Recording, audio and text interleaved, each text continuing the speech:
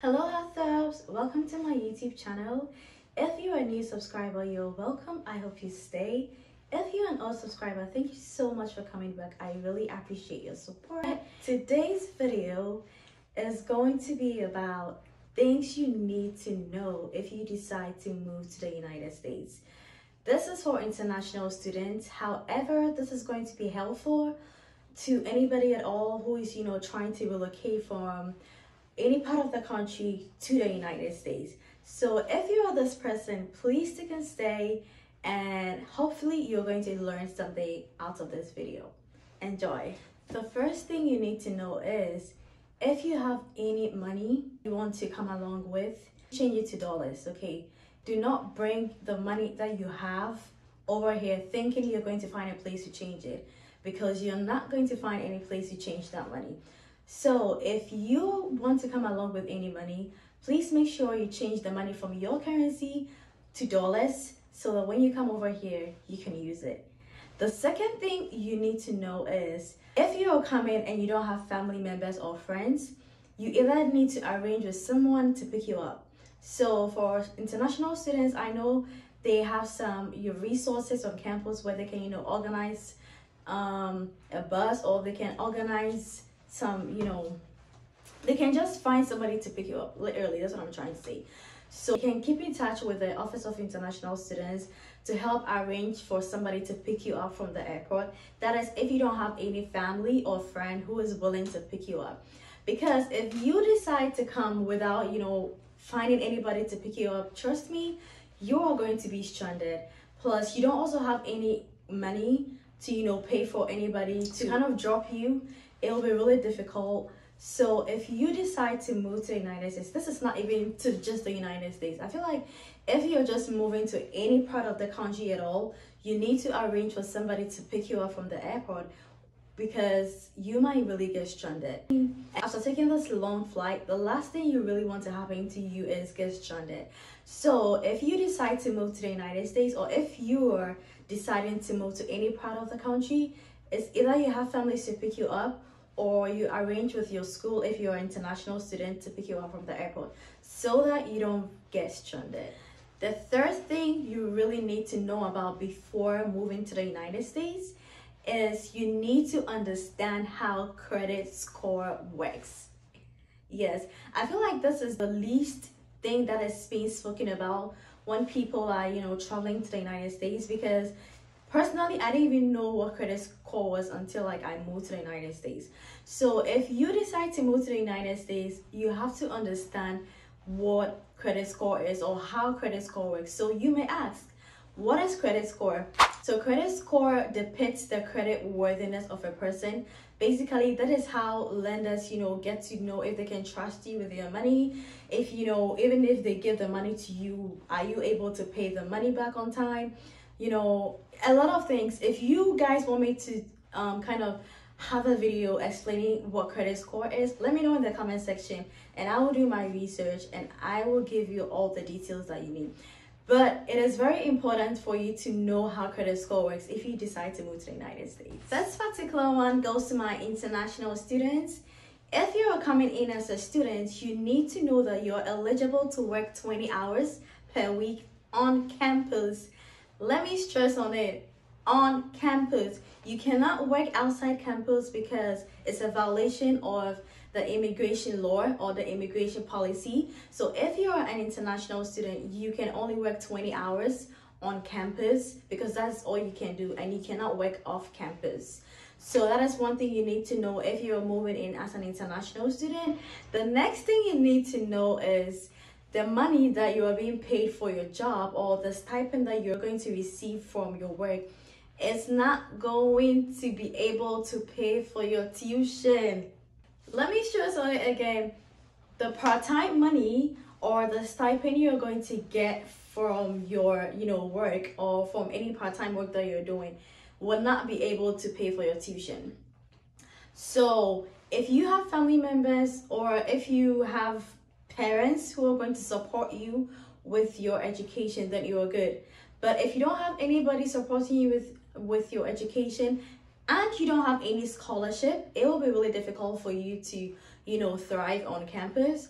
So just know that your part-time job or your, you know, any type of job at all you're doing on campus cannot be enough to pay for your tuition or your fees. So please know that. The next thing you need to know is about loneliness. This country can really make you lonely. like I trust me, you can really get lonely if you're not the kind of person who is comfortable with her own company or his own company it can really get lonely so just know that over here people are very independent people mind their business you know people love their space so if you're not that kind of person who is used to you know being by yourself or you know staying alone or minding your business it's gonna be difficult for you to stay here. However you can decide to you know join a church and maybe join some clubs or organizations in church so that you can meet people and you know go for programs and go for some meetings. That way you cannot be you know you cannot feel so lonely. Or if you're um if you are an extrovert okay if you're the type to you know talk the type to you know be the first to approach people then maybe you can try and make some friends that you can hang out with or you know do some stuff with However, if you're an introvert, it will be difficult for you to, you know, find people to do stuff with. So just know that over here, loneliness is very key.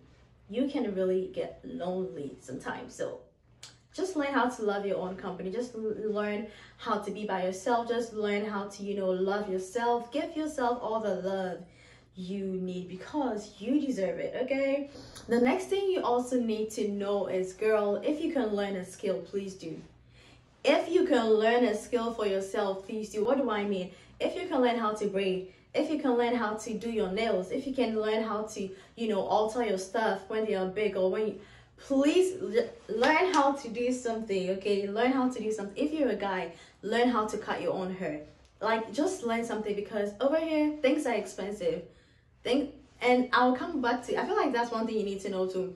Things are expensive over here. they didn't tell us, but things are expensive. So if you can learn a skill, it's gonna help you so that you can save some money. Okay, because girl or guy, you need to save some money. So and you need to live within your own means. You need to live within your own means. You need to cut your coat according to your cloth, not your size. According to the cloth that you have that is what you need to do. So if you can learn a skill i will i will say it's going to help you. So yeah. The next thing you need to know is things are very expensive over here okay? Things are very expensive over here so if you think you're coming in here and you know you'll be able to afford anything that you want girl you are deceiving yourself because things are expensive so you need to know that as well. Another thing you really need to know is if you don't know how to drive, please learn how to drive before you come over here. Mm-hmm. I, I feel like, yes, learn how to drive before you move to the United States because when you come here and you want to learn how to drive, obviously it's not free. You have to pay for it and it is expensive. And if you're an international student, you don't have the money. Like, you don't have the money. even if you do i'm probably sure i'm probably sure you want to use that money for something else but not to pay somebody to teach you how to drive so if you can learn how to drive before you move to the united states it's gonna help you a lot so please do that before you move to the united states okay? So one thing you need to know is you are going to be constantly asked where are you from? Especially when you speak because you know we once you move here your accent tends to change okay? So you kind of have it like you kind of um develop a different accent and your accent is obviously going to be different from the american saying over here. So please be, be ready to keep on answering people. Like they're gonna they're gonna ask you so many questions like oh hey they're gonna. so this is how they're going to say oh hey you have an accent. Where are you from? That's how they're going to ask you. So please be prepared to be answering those questions a lot because they are going to be constantly asking you that. And sometimes it can really get annoying when they keep asking you like where are you from? Or you have it. So some people will also say oh wow i like your accent. Where are you from? They just want they just know that you are not from here because of how you speak and they just you know just want to verify yeah their thoughts or they just want to you know. So they'll ask you. So just be prepared to be answering people those kind of questions also if you're an international student or if you're coming in as an international student please be prepared to face the educational system. The educational system here is very rigorous. It is very intensive like assignments back to back project works back to back group assignments back to back quizzes back to back there is no breathing space. If you're coming in as a graduate student, if you're coming in as a PhD student, please make up your mind that there's not going to be any sleep. No sleep, no sleep, school, library, work. That is going to be your lifestyle till like you get off of school. So just know that the education system here is very intensive and please be ready. Be ready to face it because it's it's not easy. But by god's grace you are going to overcome. You're going to do it. You've got this okay? So guys these are some of the things i think you need to know if you decide to move to the united states as an international student or if you're coming over here to you know work or you know to visit. You can pick one or two out of these you know things that i've shared with you. If you guys want me to do a part two of this video let me know in the comment section and i will definitely do it. If you have watched this video till this point and you have not subscribed i'm waiting for you to please hit the subscribe button okay please hit the subscribe button and join the family okay? Because over here we share some beauty we share some fashion we share some story time. I give you some life update. I share like there's a little bit of everything on this channel. Please hit the subscribe button and join the family Thank you so much for doing it. I really appreciate your support. This is the end of the video. I hope you learned something new.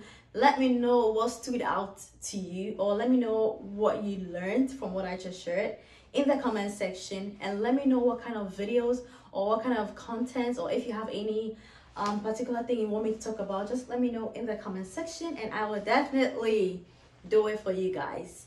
Thank you so much and I will see you all in my next video. Bye.